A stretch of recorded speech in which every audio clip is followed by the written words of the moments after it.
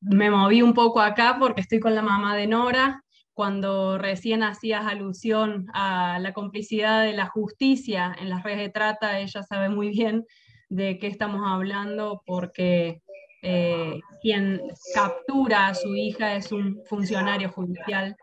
Em, así que, bueno, sí, ahora la idea era, yo quería eh, expresar algunas cuestiones para complementar lo que decía Miriam, me parece que estuvo muy completo, em, y que tiene que ver un poco con, con la salida que nos proponemos. Ella decía, bueno, estamos acá em, peleando por, por, nuestros derechos, que son una cosa tan elemental que, es indigna y no podemos naturalizar, que es decir, ni una menos contra la violencia machista, ni una menos contra los femicidios, es decir, que no nos maten. Eh, y, tener que pronunciar eso es realmente brutal. Ella hablaba del rol de la justicia, del rol de la policía, de las fuerzas represivas, y yo pensaba, bueno, ante esas instituciones en las que cada vez hay más desconfianza porque las vemos actuar todos los días, eh, ¿cómo hacemos para que no nos gane la impotencia? ¿Cómo hacemos para que no nos gane la desazón? Porque en última instancia somos nosotras, son, son nuestros cuerpos los violentados, son nuestras hijas las eh, violentadas, nuestras hermanas, somos nosotras las que ponemos eh, las muertas para decirlo de una manera cruda. Y si bien la violencia machista y, los femicidios atraviesan de alguna manera todas las clases sociales, como bien señalaba Miriam, la clase trabajadora, las mayorías populares, somos las que eh, ponemos efectivamente el cuerpo de manera más brutal, porque no es lo mismo enfrentar una separación, un divorcio, teniendo la posibilidad de pagar abogados, teniendo la posibilidad de preparar inclusive ese proceso, eh, pagando asistentes, asistencia psicológica, eh, asistencia de otro tipo, que enfrentarse con cero recursos, sin trabajo, desocupadas, desempleadas, eh, y, esa es la situación en la que está la mayoría de las mujeres. Hay un estudio de CEPAL que indica que las mujeres en un año de pandemia hemos retrocedido en la participación del mercado de trabajo 10 años.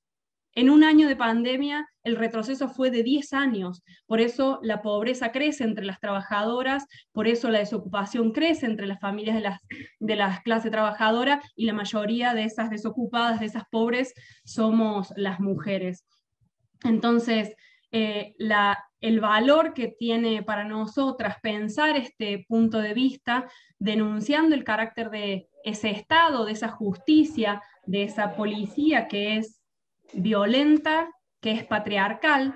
Quizás hay muchas compañeras nuevas y, es la primera vez que escuchan la palabra patriarcal. ¿Qué significa eso? Bueno, es ese sistema organizado y ordenado para mantener los privilegios de los varones por sobre las mujeres. Las mujeres estamos entre las más pobres de los pobres a nivel mundial. Somos las trabajadoras que tenemos los trabajos más precarios con menor salario, estamos entre la mayoría de las desempleadas.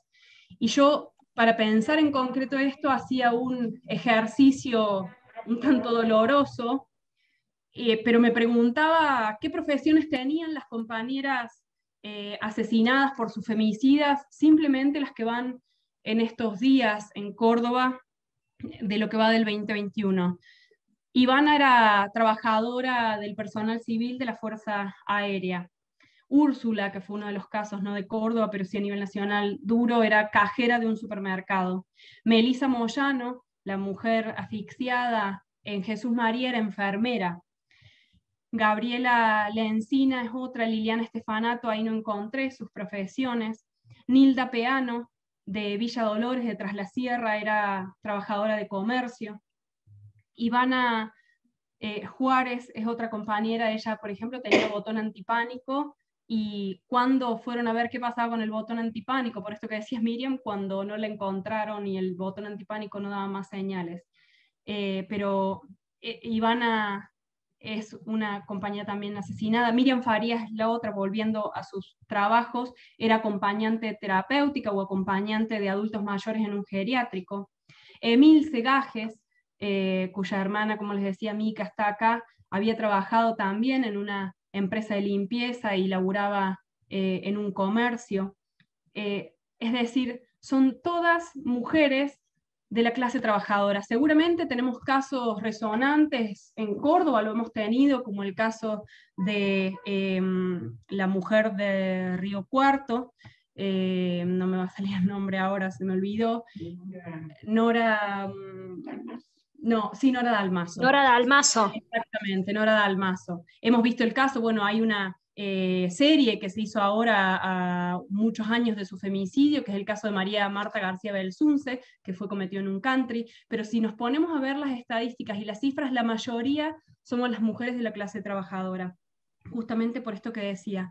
Ahora, esto nos eh, puede permitir pensar que esto que nosotros decimos de que el femicidio o las formas de exterminación física como la desaparición por las redes de trata, o en el caso de los abortos, de la muerte por aborto eh, clandestino, como nos ocurrió hasta hace muy poquito, y no descarto que siga ocurriendo a pesar de que hemos conquistado la ley, eh, tiene que ver con ese último eslabón de una cadencia muy brutal de violencias que se consuma y se ejerce todos los días porque esto no podría ocurrir si no existiera una violencia naturalizada de todos los días, cotidiana. Y esa violencia cotidiana se ejerce en tener los peores ah, trabajos, como decía. hay alguien con micrófono abierto.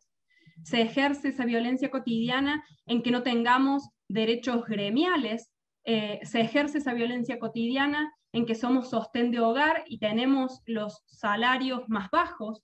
Entonces, ¿Cuáles son las responsabilidades también ahí, como decía Miriam, no solo de la justicia, no solo del Estado, no solo de eh, la policía, sino de las propias conducciones sindicales? Porque ¿quiénes son las que deberían pelear por nuestros derechos laborales? Para que no estuviéramos precarizadas, tercerizadas, en negro o eh, con salarios de miseria. Y ahí están las conducciones gremiales. Hemos visto su rol estos días con permitir la vuelta a clase eh, catastrófica que ya está significando el cierre de escuelas, seguramente las compañeras podrán contar. Vimos el caso de las trabajadoras de la salud estando eh, al frente en la primera línea de la pandemia sin los propios recursos y las conducciones gremiales no haciendo nada. Lo vemos a cada paso, bueno, ni hablar las trabajadoras de call center, las aplicaciones, ahí ni hablar de que es tan precarizado y tan brutal la explotación que no tienen eh, casi representación gremial y la han tenido que, gestionar ellas mismas y ellos mismos. Entonces, hay ahí una responsabilidad también de estos agentes que deberían representar nuestros derechos y pelear por nuestros derechos y no lo hacen. Y esto no es menor para considerar. ¿Por qué? Porque una vez que una mujer o una compañera, compañera disidente llega a hacer una denuncia judicial, yo creo que es porque han pasado antes muchos hechos que tienen que ver con la estructura de vida de las mujeres que significan violencia. Que las mujeres no podamos alquilar un espacio propio porque no tenemos con qué pagar el alquiler. Que las mujeres no podamos independizarnos económicamente de esa relación violenta, que tengamos que hacernos cargo de las tareas del cuidado, que desde ya quien va a dudar de que amamos a nuestros hijos e hijas, hijes, pero cargar con esas tareas del cuidado en niñas o en el caso de enfermos, enfermas y ancianos y ancianas. Todo eso es parte de la violencia estructural que se ejerce sobre nuestras vidas. Los secuestros de las redes de trata están estrechamente ligados para hablar con otro tipo de violencia, con el aprovechamiento de las condiciones de vulnerabilidad también a la que están sometidas la mayoría de las mujeres y personas disidentes. ¿Por qué las redes de trata captan a mujeres que están en busca de un trabajo y son capaces de hacerle una oferta trasladándola hasta la otra punta del país o a países vecinos, como decía Miriam, con complicidad de la policía, si no fuese porque esa persona tiene una vulnerabilidad económica. O el aprovechamiento, el aprovechamiento, como bien lo dice Miriam en el caso de Nora, de una situación previa de violencia de pareja y la vulnerabilidad que se combina con el consumo de, drogas adictivas que este tratante acrecentó y profundizó justamente para avanzar en la explotación. Entonces, esas situaciones de vulnerabilidad tienen que ver directamente con esa situación estructural que vivimos las mujeres, que es que somos ciudadanas de segunda.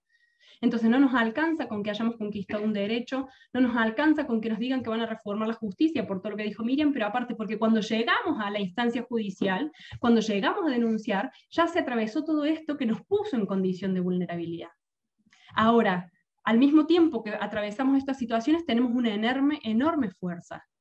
Yo creo, y ahí quisiera que las compañeras después pudieran contar la, la potencialidad enorme que tiene que las mujeres nos organicemos en los lugares de trabajo, de estudio, como hicieron las trabajadoras de limpieza, que se sobrepusieron al miedo, que se sobrepusieron a la persecución y a las amenazas de eh, las empresas tercerizadas de la limpieza, del Estado, a la desatención de los ministerios de trabajo y que se enfrentaron a las conducciones gremiales. La potencia enorme que tienen las trabajadoras de las ferias, que aún siendo entre las más precarizadas, se plantan frente al municipio que eh, les quiere regimentar y, reglamentar todas sus condiciones de trabajo, un trabajo que se, que se consiguieron ellas eh, eh, o que de algún modo se buscaron la manera de arreglarse para tener un ingreso. Muchas trabajadoras jubiladas, desocupadas, desempleadas, que trabajaron toda la vida en negro. La fortaleza que tienen las pibas de las apps o de call center, que también el año pasado las vimos a la cabeza de la lucha.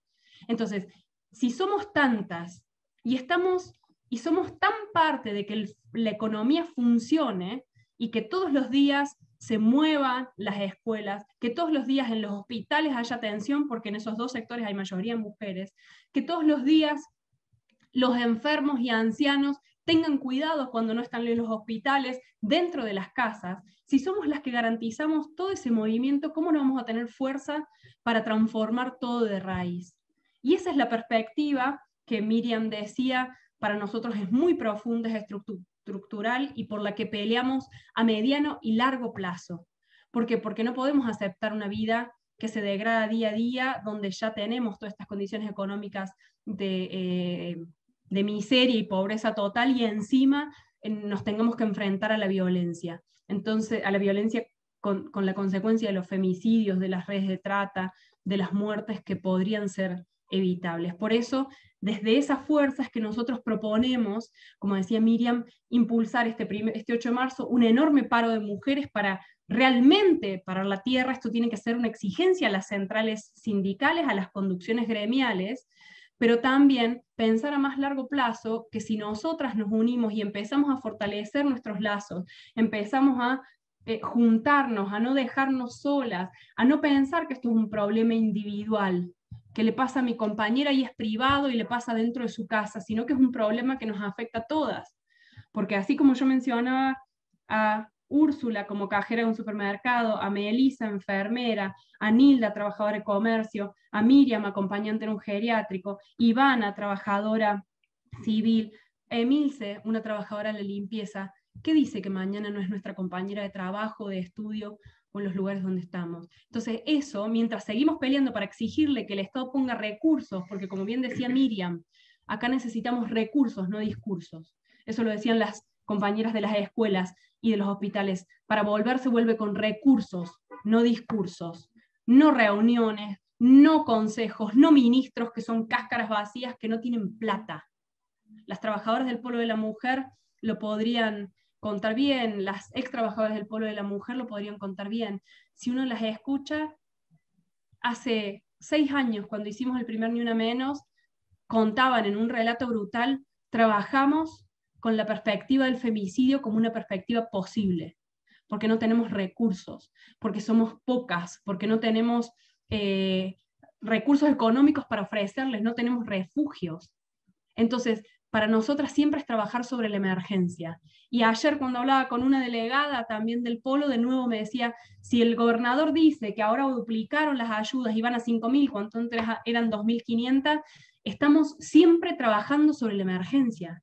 Hay 7.000 botones antipánico entregados en la provincia y hay recursos para 5.000 mujeres, es decir, los femicidios van a seguir ocurriendo. Entonces, mientras exigimos recursos reales y no discurso y pura cháchara y cáscaras vacías, que son siempre de contragolpe, tenemos que hacer algo para evitar que se llegue a las situaciones de eh, violencia más directa, más extrema y contenernos, ayudarnos, ser solidarias entre nosotras, y esa es también la perspectiva de las comisiones de mujeres, porque es el lugar donde podemos ganar autoestima, porque es el lugar donde nos encontramos con nuestras compañeras y amigas y nos damos cuenta que no es un problema individual, sino que me pasa a mí, le pasa a ella, le pasa a su hermana, le pasa a su hija, y esto también es urgente porque queremos dejar de contar muertas, de apilar cadáveres, no se puede seguir apilando cadáveres. No podemos seguir apilando cadáveres. Entonces, denunciar, exigir, señalar las responsabilidades es fundamental. Organizarnos para que lo cumplan es fundamental. Y mientras tanto, garantizar nuestra propia organización, confiar en nuestras propias fuerzas, que yo creo que es lo que nos permite preparar la perspectiva, no solo para en el mediano plazo tratar de evitar también los femicidios, sino darlo vuelta a todo, como dijo Úrsula, si no vuelvo rompan todo. Bueno, este sistema de opresión, y explotación con su justicia, con sus fuerzas policiales, con sus eh, burócratas sindicales, con sus legislaturas.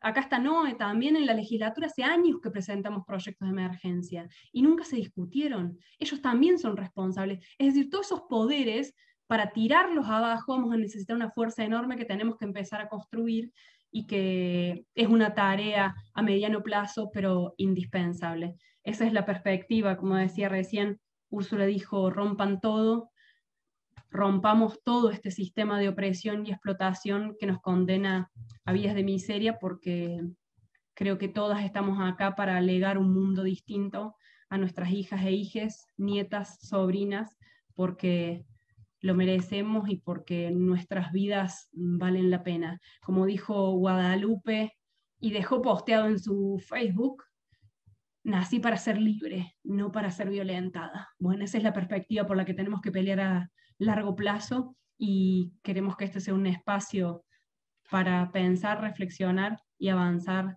en ese derrotero. Yo corto acá, disculpen que me haya extendido, eh, muchas gracias. Eh, se han expresado compañeras de distintos lugares, está buenísimo. Les comento de paso que hemos desde Pan y Rosa fundado organizaciones de mujeres en todos los países. Hay una, eh, una organización que es internacional, eh, no es por agrandarnos, pero somos la organización de mujeres más grande de Latinoamérica con, con fuerzas en Chile. Eh, justamente este jueves, este 4, perdón, estoy invitada a una charla en Chile, en Brasil, en México, Perú, Bolivia, en el Estado español, en Alemania, Francia, eh, porque justamente las trabajadoras no tenemos fronteras, las mujeres no tenemos fronteras, entonces ¿por qué la tendría que tener nuestra lucha? Creo que eso se observa eh, en todo el continente con la fuerza de la marea verde por el derecho al aborto, con la lucha contra los femicidios, y eso también es lo que estamos encarnando, aunque parezca que solo estamos en Córdoba y no eh, peleando en todo el mundo contra todas las formas de violencia.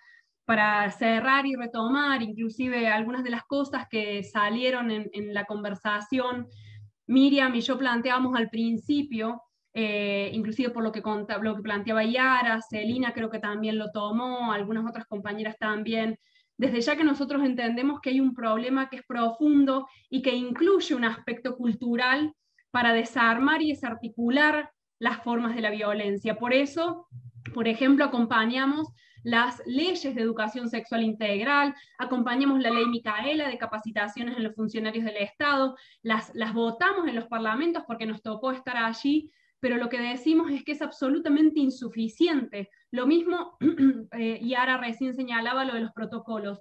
La policía tiene protocolos, las fuerzas estatales tienen protocolos, en los lugares de, en las dependencias estatales hay protocolos, y sin embargo la violencia no cesa.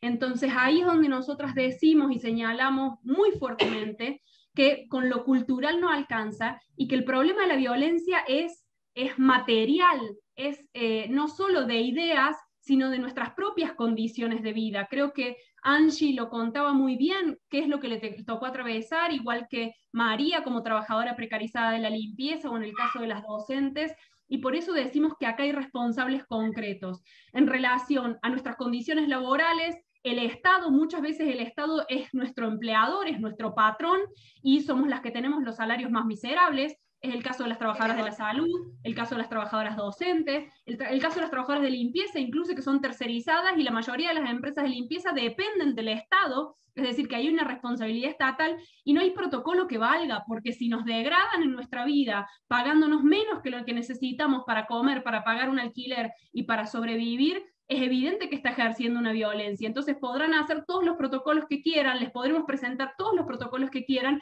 pero si no se transforma eso, difícilmente podemos frenar la, degradación de la vida de las mujeres y ese callejón sin salida que contaba impecablemente Angie por experiencia propia, en la que te deja la precariedad laboral y vital. Entonces, allí señalamos muy fuertemente que cuando dicen que hay que pagarle al Fondo Monetario, que hay que pagarle a los acreedores internacionales, que hay que pagarle a los, eh, a los banqueros, o por ejemplo en este caso, donde hay un enorme debate sobre las vacunas, que hay que pagarle a las empresas farmacéuticas que están haciendo millones y millones de pesos a costa de nuestra salud. Por eso desde el Frente de Izquierda decimos que hay que liberar las patentes y que Argentina se tiene que sumar como un Estado que pida la liberación de las patentes para que se fabriquen en el país por el Estado, entonces que no falten vacunas para nadie.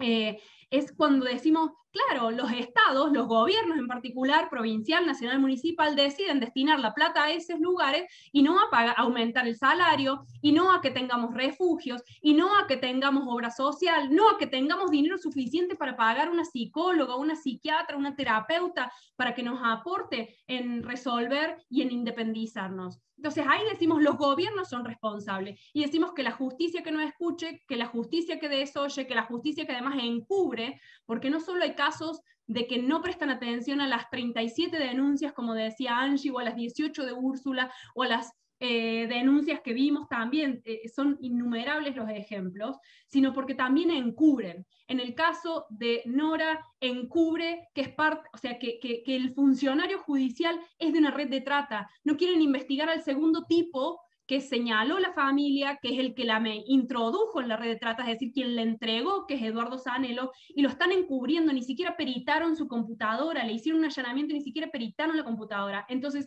ahí donde hay encubrimiento también, la justicia es responsable como parte del Estado. Lo mismo las fuerzas represivas. Compañeras, eh, quizás a veces el discurso de los medios que dice que hemos presentado protocolos. Ustedes saben que acá en Córdoba, quizás Yara no lo conoce todavía porque, porque eh, es reciente, pero los casos de violencia han sido siempre brutales y los femicidios han sido muchos. Y la última, la última novedad de la policía es que pusieron a una mujer como jefa de la fuerza. Bueno, pusieron a una mujer que a la par que no cambia absolutamente nada, eh, de la estructura de la fuerza, es una mujer que estuvo implicada en el encubrimiento de un caso de asesinato de un pibe porque modificó los registros del servicio de llamadas telefónicas donde estaba la denuncia de que al pibe le habían metido un balazo. Eso fue un caso que tuvo su sentencia y hay policías implicados. Entonces, la que dirige la fuerza es la que encubre también. Es la que encubrió en un último caso, que es el de Blas Correas, a sus propios eh, subordinados. Entonces, no alcanza con protocolos, no nos basta con que pongan a una mujer a la, cabeza de determinadas fuerzas, porque la función de esas fuerzas policiales es tratar de mantener un orden social que es este orden social injusto. Eso es lo que tratamos de explicar al principio con Miriam. Entonces, frente a eso, ya hemos visto cómo actuaron con las compañeras estudiantes perseguidas a las que en lugar de, ponerse de su lado, las reprimieron y la justicia las mandó a procesar. Entonces ahí la justicia, la policía, los gobiernos son responsables. Por eso nosotras creemos que mientras obviamente les exigimos con todas nuestras fuerzas presupuestos reales porque queremos frenar los femicidios, sin embargo no podemos esperar que esos gobiernos que todos los días encubren, esas fuerzas de justicia que todos los días encubren, esas fuerzas policiales que todos los días encubren, esas legislaturas que todos los días desoyen nuestro reclamo, sean las que nos vayan a dar pelota. Lo mismo con las conducciones sindicales, que bien lo explicó Julia, cómo están actuando. Por eso creemos que hay que mostrar con todo la fuerza del 8 de marzo. ¿Qué hacemos nosotras cuando ocurren estas cosas? Cuando las compañeras de limpieza están peleando por sus por sus puestos de trabajo, qué hacemos las estudiantes, las docentes, las vamos a acompañar para que esa lucha triunfe. Cuando las trabajadoras docentes pelean por, los, porque, por no volver a clase sin, sin condiciones de higiene y seguridad, ¿qué hacemos el resto? Las vamos a acompañar. ¿Qué hacemos cuando hay familias como la de Micaela, como la de Nora, con Miriam acá a mi lado, que, que necesitan acompañamiento denunciando esa justicia cómplice e encubridora? Las acompañamos y las rodeamos de solidaridad. ¿Qué, ¿Qué queremos que hagan las trabajadoras también?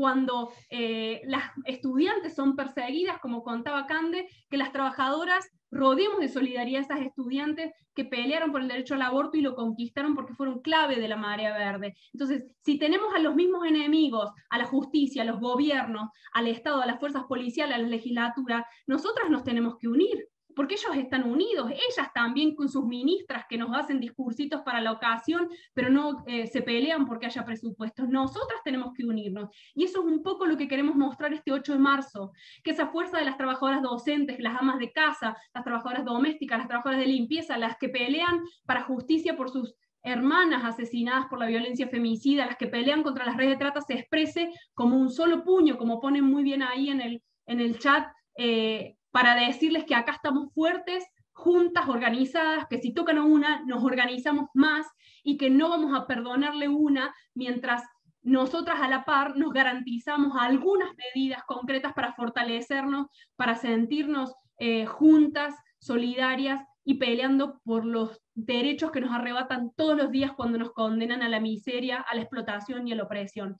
Nos parece que ese es el camino y esa es la perspectiva y lo queremos expresar con toda esta fuerza el próximo 8 de marzo, porque el 8 de marzo tiene que ser un mensaje muy contundente el que escuchen estos responsables. Para que ese mensaje contundente se escuche, no podemos hacer más que multiplicarnos por cientos, por miles en todas las calles del país. Esta es la pelea que estamos dando como pan y rosas en Córdoba y en toda la Argentina y también en otros lugares, por eso le decía lo de Chile, en toda Latinoamérica, porque todos los gobiernos en última instancia tienen políticas similares, con algún matiz mayor o menor, y esa es la vida a la que nos están condenando. Por eso, esta es la perspectiva del 8 de marzo, les hacemos esta propuesta para marchar con pan y rosas, y obviamente en el medio están este planteo de de, toda, toda aquella compañera que quiera multiplicar la organización con sus amigas, con sus eh, vecinas, con sus compañeras de feria, con sus compañeras trabajadoras eh, en los lugares de trabajo, las estudiantes,